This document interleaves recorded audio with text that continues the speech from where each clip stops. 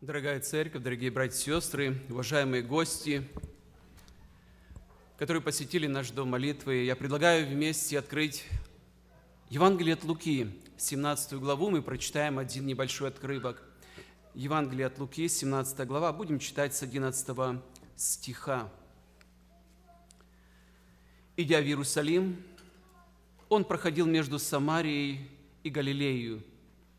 И когда входил он в одно селение, встретили его десять человек прокаженных, которые остановились вдали и громким голосом говорили, «Иисус, наставник, помилуй нас». Увидев их, он сказал им, «Пойдите, покажите священникам». И когда они шли, очистились. Один же из них, видя, что исцелен, возвратился, громким голосом прославляя Бога, и пал ниц к ногам Его, благодаря Его. И это был самарянин. Тогда Иисус сказал, не десять ли очистились? Где же девять? Как они не возвратились воздать славу Богу, кроме этого иноплеменника – и сказал ему, встань, иди, вера твоя спасла тебя. Моя проповедь называется «Благодарность среди неблагодарного мира».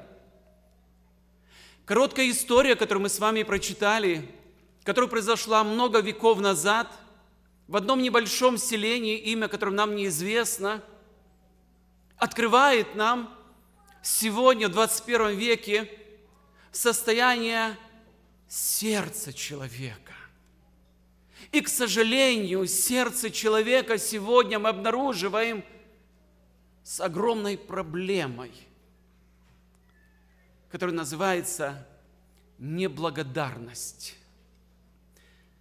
Друзья, когда мы говорим о, о благодарности, очень важно понимать, к кому в первую очередь должна быть обращена благодарность человека? Кому в первую очередь? Кто заслуживает сегодня достойной благодарности?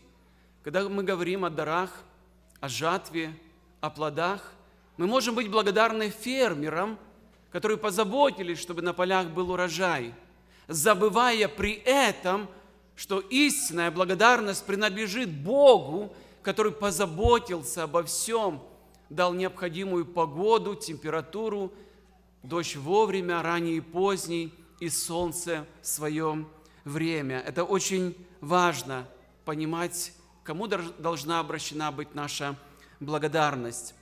Итак, Христос, идя в Иерусалим, проходит между Самарией и Галилеей. Он заходит в небольшое селение – с неизвестным названием, где его встречает группа, которая состоит из десяти человек. Что объединяет эту группу людей? Что заставило их, стоя вдали, кричать? Мы прочитали, Библия говорит, это были люди, больны проказой. Проказа, мы хорошо знаем, это страшная болезнь, который постепенно разрушает тело человека. Эти люди были обречены. Эта болезнь сделала их изгоями общества. Она разделила их навсегда с семьями, с обществом, с детьми, с родными. Она разрушала их тело и приводила к медленной смерти – Интересно, что эти 10 человек даже приняли, вопреки всем законам, всем традициям и пониманию проверных иудеев, свою группу самарянина. Даже приняли этого человека. Почему? Потому что не знали, что не обречены. Что у них нет никакой абсолютно надежды. Есть одна только медленная страшная, необратимая смерть. Почему они стояли вдали? Закон требовал. Для них эта встреча была, наверное, случайностью. Возможно, они слышали об Иисусе, но для Иисуса Христа, братья и сестры, эта встреча не была случайностью. Он знал, почему он, проходя в Иерусалим, он зашел в это селение. Интересно, каким образом эти люди привлекли внимание Иисуса Христа. Мы прочитали с вами в 13 стихе, обратите внимание, громким голосом, громким голос, голосом говорили, Иисус, наставник, помилуй нас. Вы знаете, если была возможность нам находиться там, мы бы увидели жалкое зрелище. Почему? Дело в том, что проказа, она касается голосовых связок тоже. Гортань поражена. Не только глаза, руки, тело, кожа поражены, голосовые связки. Человек не может нормальным голосом разговаривать. Он хрипит. И десять человек – кричат, хрипят своими голосами. Но правильно делают и выбрали из многих имен Иисуса Христа удивительное слово «наставник». Это очень интересное выражение. К, наставникам обращались те, кто обладает властью, кто могут что-то сделать. Это не просто было случайно. Эти люди, по всей видимости, слышали, что Иисус из Назарея исцеляет прокаженных, исцеляет слепых, хромых, больных. И они кричали, Иисус, наставник, помилуй нас. Почему они это делали, братья и сестры? Почему люди обращались к Иисусу Христу с этими словами «Помилуй нас»? Потому что Иисус был их единственной надеждой. Христос для них в этой ситуации был единственной надеждой. Он был единственным шансом. Другого выхода из этого положения, в котором находились, не было. Ни лекарства, ни помощь родных, ни общества. Ничего не могло из этого им помочь. Эти люди были в отчаянии, и все, что не могли делать и обратиться к Иисусу – за помощью со словами «Иисус, наставник, помилуй нас». Что делает Иисус? Иисус делает то, что Он делал всегда и делает сегодня, потому что нездоровые нуждаются во враче, но больные. И Он пришел спасти не праведников, но грешников. Интересно, что а, реагирует Иисус Христос. Он делает это как-то необыкновенно. Он не подошел к ним, не прикоснулся, не сказал «исцеляю», не спросил их о вере, имеют ли они веру для исцеления. Христос произносит три коротких слова. «Идите, покажитесь священникам». «Идите, покажитесь священникам». Почему Христос так сделал? Потому что это, этого требовал закон Моисея. Прокаженный человек, больной проказой, обнаружив на себе проказу, он должен явиться был к священнику прежде всего. И затем наступала долгая, изнурительная процедура. Восемь дней находится вне стана. Потом человек возвращается снова к священнику – он его осматривает внимательно. Если что-то обнаруживает, он снова его отправляет на 8 дней. Потом проходит еще 8 дней, он снова возвращается к священнику, он снова внимательно осматривает и опять отправляет его на 8 дней. И только тогда, если все проходит, тогда он объявляет его чистым. И при этом он должен послать, возможно, он его пошлет в Иерусалим, в храм, для того, чтобы была принесена жертва. Вот такой был порядок. Но Иисус Христос посылает их к священникам, потому что Он хочет, чтобы и вера была у них, потому что человек не может просто так пойти. Он должен повиноваться Господу. Христос видит, есть ли у них хоть маленькая вот эта вера для того, чтобы они могли исполнить Его Слово – 14 стих, обратите внимание, Писание говорит, что по дороге, когда они шли, произошло что-то удивительное. И когда они шли, очистились. Христа с ними не было, ничего внешне не происходило, ни грома, ни молнии, ни сияния, ни света, ни голоса с неба. Просто, когда они шли, они очистились. Бог вмешался в судьбу этих десять несчастных людей и совершил чудо исцеления по пути, когда они направлялись к священнику. Я могу представить, братья и сестры, что происходило среди этих людей, братья и сестры. Давайте посмотрим немножко вот эту картину. Десять обреченных людей идут. И вдруг они обнаруживают, глядя друг на друга, что проказы нету, что их тело стало как тело у младенцев. Голос их окреп. Сколько радости, сколько торжества, наверное, они прыгали, скакали, радовались, обнимали друг друга, не замечая даже, что этот самарянин среди них, сколько торжества было. Но что-то произошло, что-то пошло не так – один человек останавливается, останавливается, оставляет девять и возвращается обратно. Куда, братья и сестры? К Иисусу. Он забыл, что Христос сказал ему, иди покажи священнику. Он возвращается к Иисусу Христу и делает три очень важных вещи.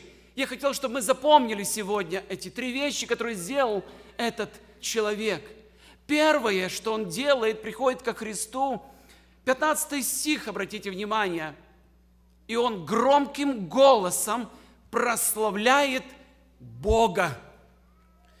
Он знает, что перед ним не просто человек. Он знает, что Бог его исцелил. Он громким голосом, связки исцелены. Есть тело, есть голос, и он начинает прославлять и при этом громким голосом. Второе, что он делает очень важную вещь, он падает ниц пред Христом. Он не просто приходит, говорит, благодарю тебя, не пожимает руку. Падает ниц – это простершись, братья и сестры, полностью, всем своим телом пред Иисусом Христом, поклоняется Христу, как Богу. Его глаза его духовное зрение исцелено, он знает, что это не просто Иисус, это Бог, который исцелил его. И третье, что делает очень важно, братья и сестры, исцеленный благодарит Христа.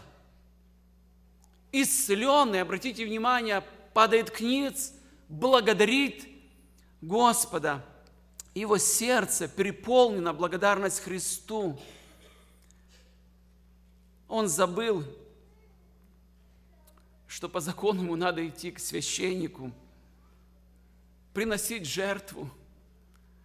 Он вернулся к тому, который есть жизнь вечная. Он вернулся к тому, который есть храм. Он вернулся к тому, который обладает властью не только исцелять, но и прощать грехи. Кто это был человек, братья и сестры? это был тот, которого иудеи презирали. Это был тот, который называли язычник, самарянин. Это был тот, с кем было запрещено общаться и обращаться как с равным. Благодарный среди неблагодарных людей оказался самарянин. А что же делает девять? Исцеленные, получившие новое тело, они продолжают свой путь. Они продолжают свой путь к священникам. Затем, по всей видимости, они говорят, как прекрасно, мы сейчас придем, исцеленные, получим свидетельство, и мы пойдем в храм, чтобы совершить там жертву принести Богу, потому что именно там, в храме, происходит настоящее поклонение, там происходит жертвоприношение, там живой Бог. Нужно идти туда, они стремлены туда, братья и сестры. При этом забыли очень важную вещь, что туда, куда они идут в храм, Бога давно нет, потому что слава покинула храм давным-давно, о которой говорит пророк Езекииль 10 главе 18 стихе. Слава Божия покинула храм. И остались только стены и мертвая религия, совершающая жертвоприношения. Интересное отношение ко Христу. Он им больше не нужен. Он им больше не нужен. Они получили от Него, и Христос больше не нужен. Братья и сестры, вам знакома эта ситуация? Получили, а зачем возвращаться? Зачем поклоняться? Зачем благодарить? Зачем падать ниц? Я получил свое. При этом они не обратили внимания, что, получив исцеленное тело, они заболели страшной болезнью. Болезнь неблагодарного сердца, которая очень трудно излечивается. Болезнь неблагодарного сердца. А что скажет Христос? Что скажет Бог? Промолчит ли или что-то скажет? Обратите внимание, как немногословен Христос был в этих эпизодах. Они кричат, помилуй нас, наставник. А он говорит им три слова только. Идите, покажитесь священником. Но когда возвращается один из десяти, благодарит, славит Бога, поклоняется Христу, Бог не промолчал. Мы читаем, обратите внимание, в 17-18 стихе, тогда Иисус сказал, не десять ли очистилось, где же девять? Как они не возвратились воздать славу Богу? Кроме этого, и на племенника, подчеркивает, Бог не промолчал – Бог спокойно и властно задает вопрос тогда, Бог спокойно и властно задает вопрос и сегодня, братья и сестры. Мы живем в неспокойном мире. Мы слышим, как горят леса в Калифорнии, в Орегоне, в других частях мира. Братья и сестры, я подумал, если бы леса горели день и ночь и до этого часа, что бы произошло с нашей землей – Братья и сестры, я подумал, если бы дожди шли в Германии, в Европе, в Америке каждый день и не останавливались, те дожди, которые мы слышим, что бы происходило с красивыми городами, улицами и нашего города. А что если бы то торнадо, которое проходит, эти ураганы страшные, которые образуются в океане, и потом они передвигаются на сушу, и это было каждую неделю, и не проходили вглубь наших штатов – что бы происходило и с нашими домами. Но почему-то этого не происходит. Потому что по великой милости и благости Бога Бог еще держит свой гнев и хранит свои сосуды гнева на определенное время. Потому что мы сегодня читали в начале собрания, потому что Бог благ, и потому что во век милость Его – Поэтому не происходит. Мир сегодня забыл благодарить Бога. Греческое слово «благодарность» звучит как «чаристос». Греческое слово «благодарить» звучит как «чаристос». Ну, интересная вещь. Если в начале этого слова поставить маленькую буковку, одну маленькую букву «а», оно будет звучать «ачаристос». Приобретает совершенно другой смысл, неблагодарный. Маленькая буква поменяла весь смысл слова. Одна неблагодарность, братья и сестры, производит в нашем сердце изменения.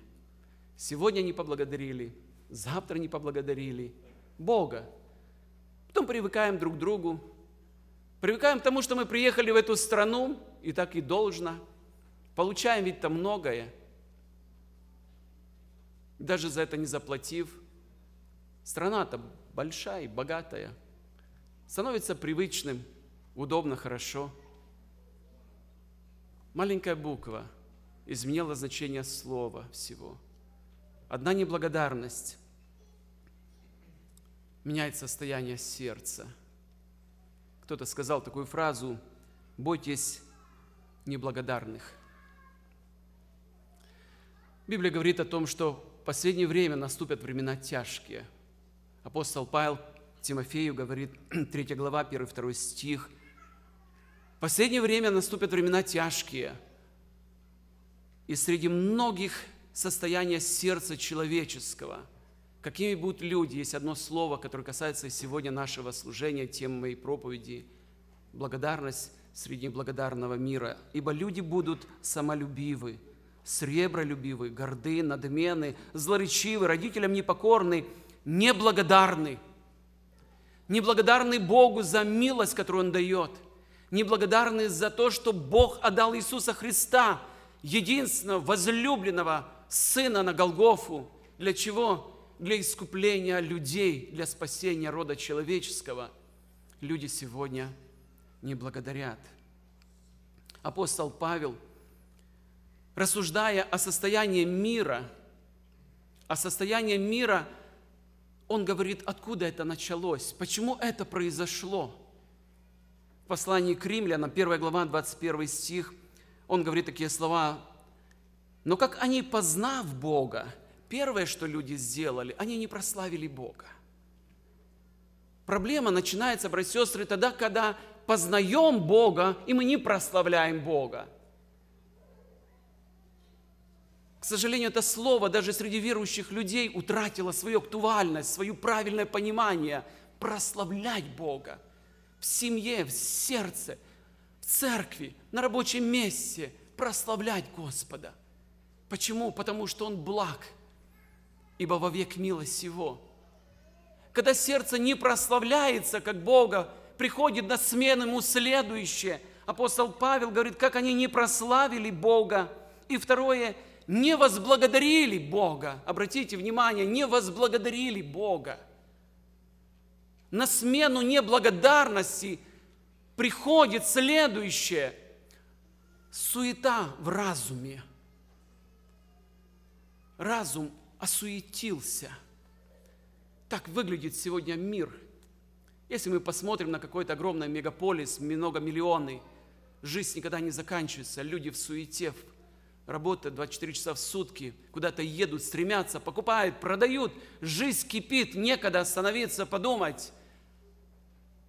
Осуетились в умствованиях своих. Павел говорит, омрачилось несмысленное сердце – называя себя мудрыми, обезумели. Неблагодарность – это грех, из-за которой человек лишается многих Божьих благословений, которые мы сегодня слышали. Вот этой полноты, вот этого жидкой жизни с избытком, вот этих благословений в благодарности лишаются люди внутренней радости, внутреннего покоя и возможности истинному поклонению Богу в духе и истине. Вот почему Иисус Христос сказал женщине, тоже самарянке, наступает время, и настало уже, когда истинные поклонники будут поклоняться Богу не на горе, не в храме, не где-то еще, но поклоняться в духе и в истине. И таковых поклонников Бог ищет себе – В этой истории, которую мы сегодня прочитали, кратко рассуждали, мы видим, как исцелились десять, но спасение получил только один. Последний стих, 19 Христос говорит, «Встань, иди, вера твоя спасла тебя». Из десяти исцеленных телом – спасение получил исцеление души только один, который вернулся к Богу, прославил Бога, поклонился Богу и возблагодарил Бога. Дорогая церковь, сегодня подходит заключение наше служение, тема которого «За все благодарите, ибо такова у вас есть воля Божия во Христе Иисусе». У нас есть время немножко сейчас для того, чтобы могли преклонить свои колени, у кого-то возможность есть. Я бы хотел, чтобы наш зал до молитвы наполнился поклонением через молитву. Тихих, кратких молитвах благодарности. Не ожесточится ваше сердце. Воздайте тому, кто возлюбил вас, возлюбил до конца. Аминь. Давайте помолимся.